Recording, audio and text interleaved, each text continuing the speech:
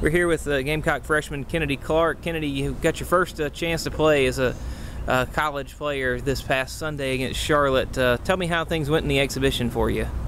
Um, it was really cool. It was kind of a surreal feeling because I've been waiting so long to be here and to play for this team. So it was cool putting on the uniform, and it was fun. I was glad we got those two wins this weekend. Sure, you uh, get talked about that with your teammates a lot, uh, especially uh, the rest of the freshmen. Was everybody excited to get out there and get this first uh, first doubleheader behind them? Oh yeah, it's a little relief. Our nerves are out, so we're ready to play for next weekend. I hear you had a triple in your first at bat. Uh, that's got to be a, a, great way to start your uh, college career.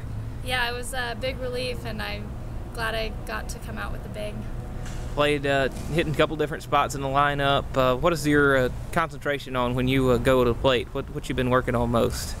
Um, just doing what needs to get done. Um, if there's one in a scoring position, make sure they get in, move runners over, just trying to be like a team player and do what I can for the team.